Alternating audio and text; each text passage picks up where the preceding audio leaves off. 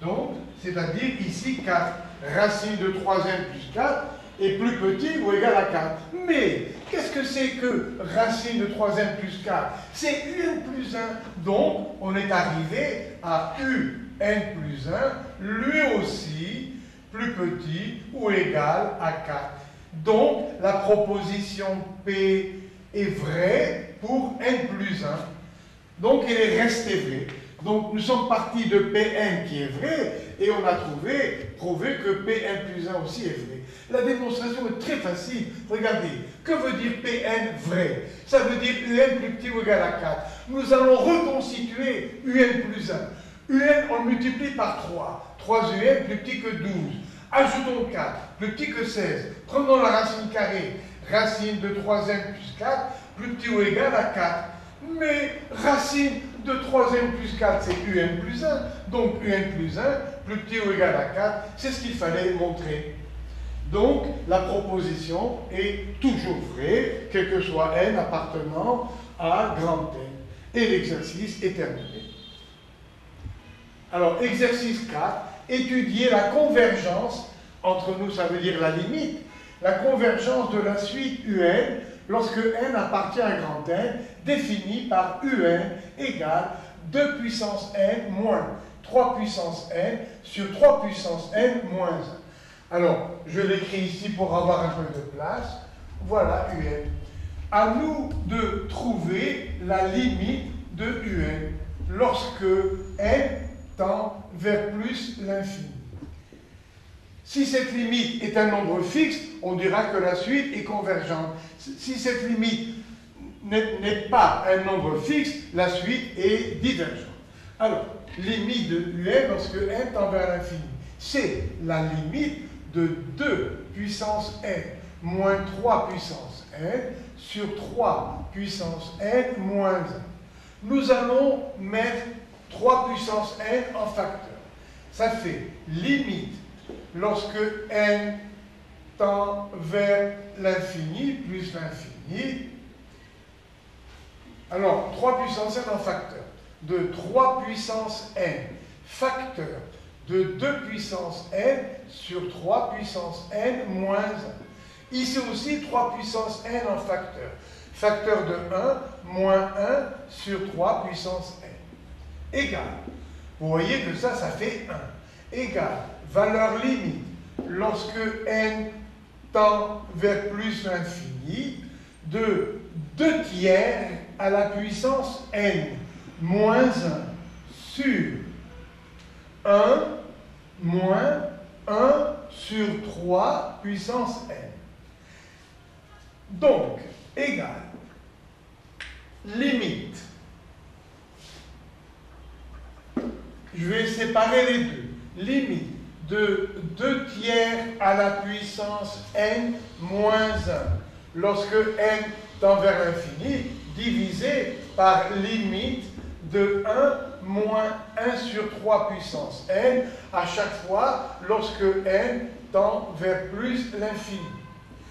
Mais regardez ici, la limite à l'infini de ce nombre, 2 tiers, est plus petit que 1 sa valeur absolue est plus petite que 1.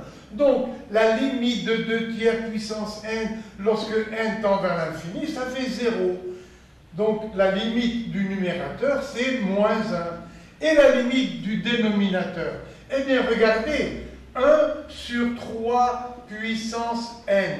Ça fait 1 tiers à la puissance n. Et 1 tiers est encore plus petit que 1. Sa valeur absolue, un tiers est plus petite que 1. Donc la limite de 1 tiers puissance n à l'infini, ça fait 0. Donc là, il reste 1.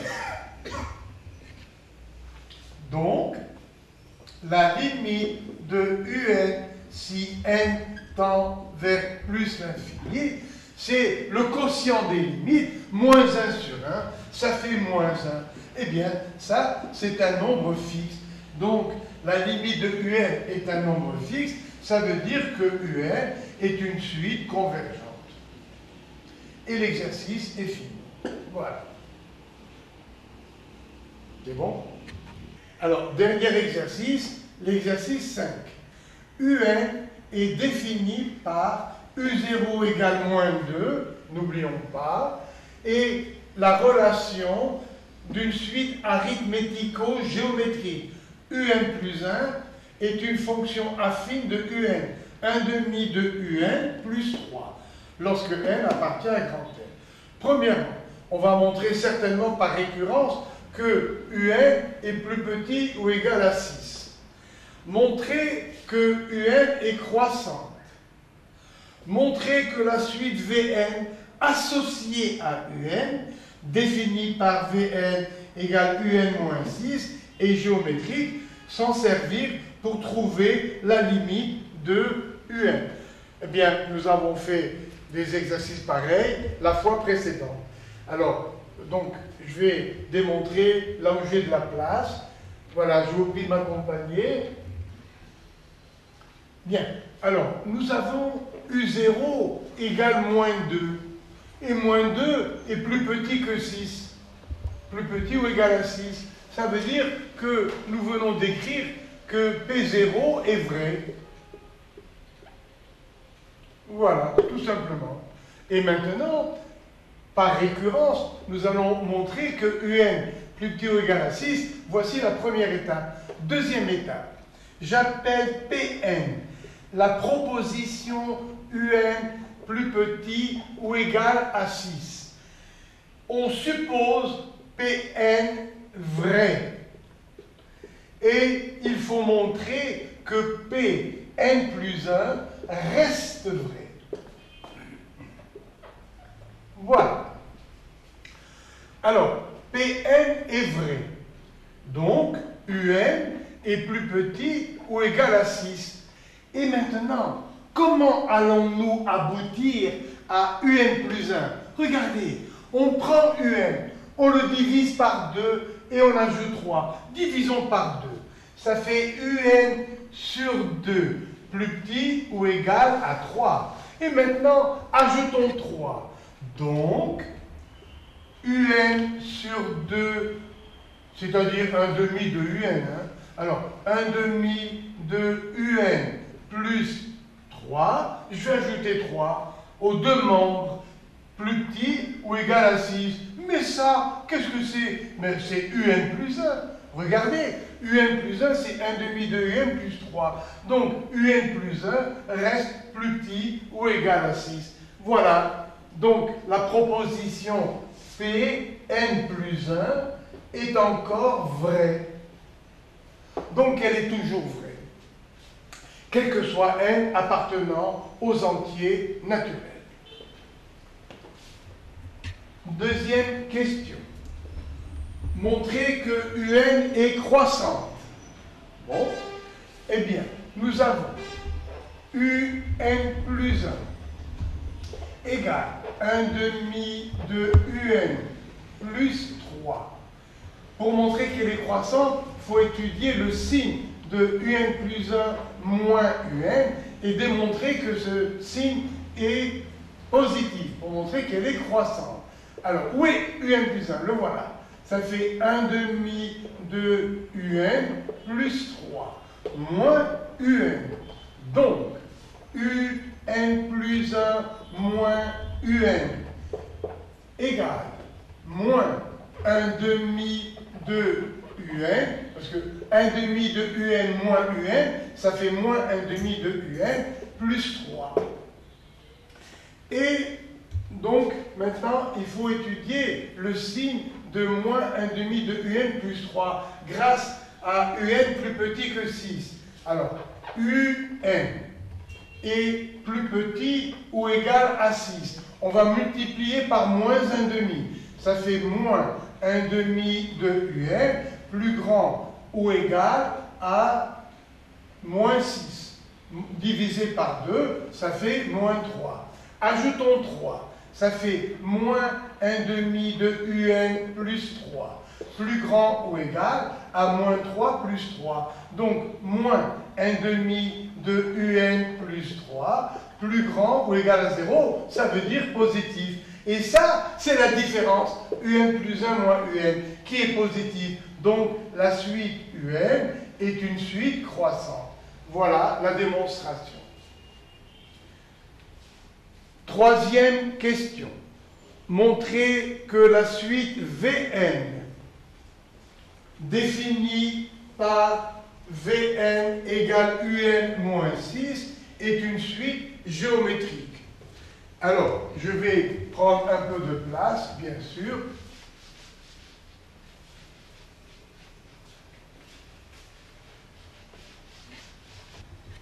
On nous donne Vn, une suite Vn associée à la suite Un, définie par Vn égale Un moins 6. Voilà.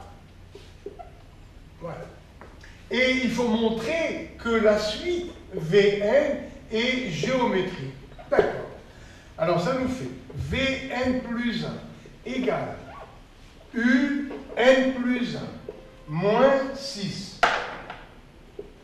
Remplaçons Un plus 1 par sa valeur. Ça fait Vn plus 1 égale Un plus 1. Ça fait 1 demi de Un plus 3 et moins 6. Voilà. Ça fait Vn plus 1 égale 1 demi de Un moins 3. Mettons 1 demi en facteur.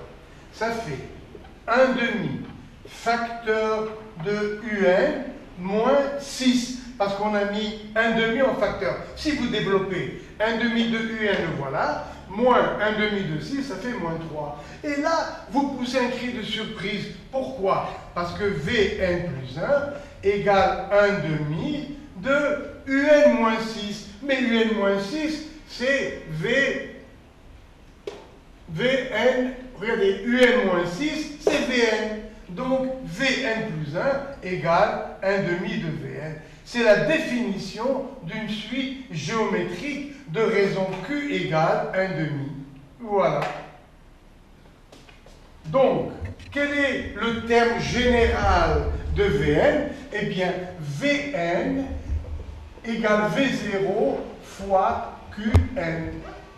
C'est-à-dire Vn égale V0 fois Q, c'est 1 demi à la puissance n. Comment calculer V0 Eh bien, toujours grâce à ça, regardez, Vn, c'est Un moins 6. Donc, V0 égale U0 moins 6. U0 est donné, c'est moins 2. V0 égale moins 2 moins 6, ça fait moins 8 que je remplace ici. Donc voilà Vn égale V0, ça fait moins 8 fois 1 demi à la puissance n. Voilà Vn.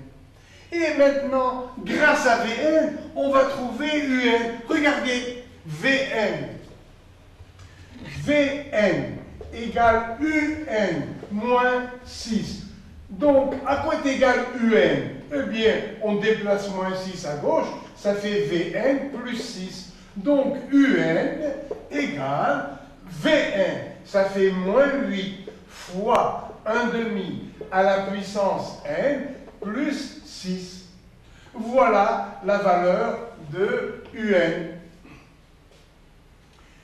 Maintenant, étudions Un. On nous demande de montrer quelle est la limite de Un. Alors, limite de 1 demi à la puissance n. Vous voyez qu'ici, la raison Q vaut 1 demi, plus petite que 1.